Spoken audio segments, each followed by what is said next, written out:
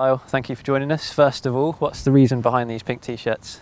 So uh, this is now the fourth year uh, of my partnership with Cancer Research UK, and um, it's in aid of them and the research they do, and how hard they work to try and make people's lives a little bit longer and a little bit better. Uh, those who are suffering, unfortunately, with cancer. Um, so these uh, these lovely pink shirts uh, have been um, they, they, they've been provided by Macron. The club have been good enough to, to pay for them and, uh, and they've been now uh, logoed up with all of our sponsors and Cancer Research UK. And um, yeah, it's, it, it's special to be able to actually have something like this that, that means so much to me and the club be so far behind me and backing me. That, that means the world to me.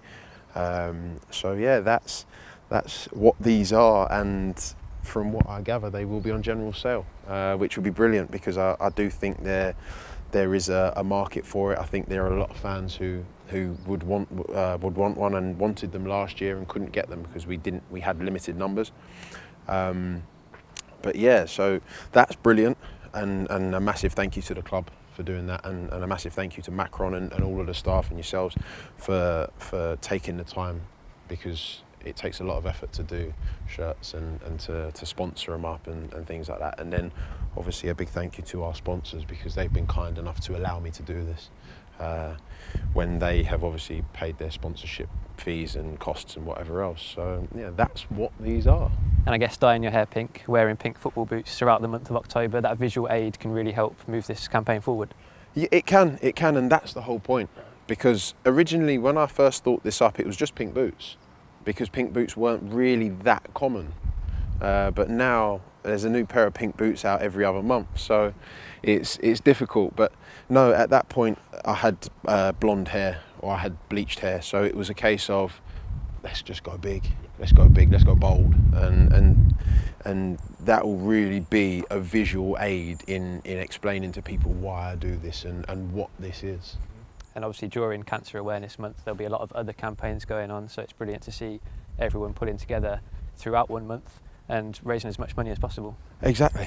Uh, the, the, the, the last 18 months have hit charities hard, uh, especially charities of the, the ilk of Cancer Research UK, where they rely so heavily on uh, public donation, as it were. Um, so, yeah, that, that's the whole reason for this. And look, however little, however much, whether it's a pound or it's 10p or 50p or whatever it is, or it's a hundred pounds. Um, every little uh, goes towards trying to keep those who are unfortunate enough to have to suffer through this disease. And it gives them a, a, a, little bit of a chance at maybe an extra day. And that's all it is. For me it's it's not about stopping cancer full stop. It's about giving people those extra days because there are death is inevitable. And it's it, it really is. And it, it's it's not nice and no one wants to lose their family or their friends but an extra day would be worth so much. My own my own family and friends who have have, have unfortunately passed away um, if I had an extra day that would be amazing. It really would be amazing. And in terms of people wanting to get involved and donating how can they go about that? So uh, the link for the giving page is on my Instagram um, and it's been up on the club's uh, on the on the club's website and the club's uh, socials. Uh, but I will I'll post it throughout the month on my Instagram, and it will stay in my bio on my Instagram, and I'm pretty sure the club will will uh, will put it up as well. So that's how people can get involved. Lyle, best of luck with the campaign. Thank you very much. Thank you.